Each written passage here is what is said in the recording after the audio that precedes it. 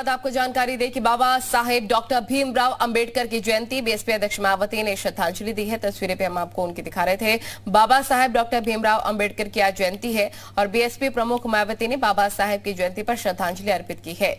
मायावती ने बाबा साहेब की प्रतिमा पर पुष्प अर्पित किए और मायावती ने ट्वीट करके भी बाबा साहेब की जयंती पर उन्हें याद किया है।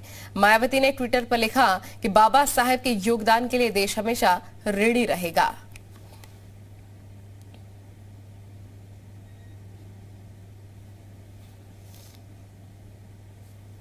तो बाबा साहेब, भीमराव अंबेडकर की आज जयंती और इस अवसर पर ट्वीट भी किया है मायावती ने और साथ ही उनको आज नमन किया है, क्योंकि संविधान का जनक भी कहा जाता है उनको। उन्होंने शोषण से डरकर हार नहीं मानी और डटकर हमेशा से ही खड़े रहे।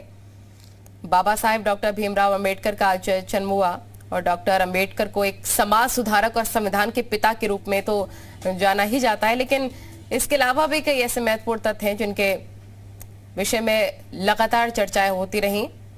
अंबेडकर जयंती पर बाबा साहेब के जीवन से जुड़ी बातें भी आज साझा की जा रही हैं।